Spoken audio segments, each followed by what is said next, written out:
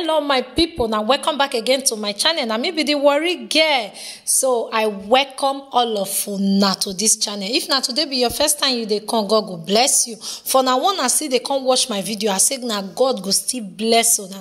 As una know we dey talk about different ethnic group when they nigeria but na delta state we dey. So we don talk about the Itsekiri people finish. If you know say you get another thing when you want ma talk about If you still let me know.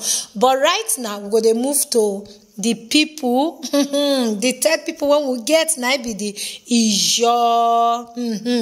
So make una lis ten o i wan start am. So i no wan waste una time okay? So make we start o my people. My people this one na just their history. I go dey knack am straight. I no wan waste time. So the next video go dey talk about them well.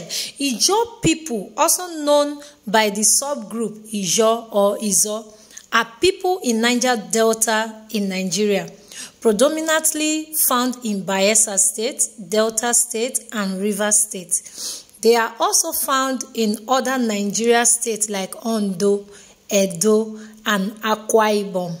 Many of the Ijaws, they are found as migrant fishermen in camps as far west as Sierra Leone and as far east as Gabon. Population figures for the Ijaws vary greatly, 5 millions. It is almost impossible to give a precise account as to when the Ijaws originated.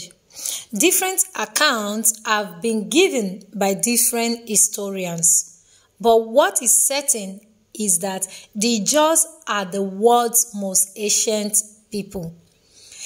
Believed to be the descendant of the autochthonous people or ancient tribe of Africa, known as the Oru. The Ijaws were originally known by this name, Oru. At least it was what their immediate neighbors deemed them. Although this was a very long time ago, the Ijaws have, however, kept the ancient language and culture of Orus. Being the first to find a settlement in the lower Niger and Niger Delta, it is possible that they may have started inhabiting this region as far back as 500 BC.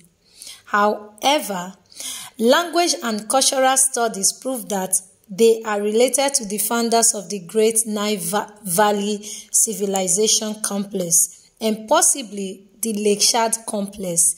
They immigrated to West Africa from the Nile Valley during antiquity.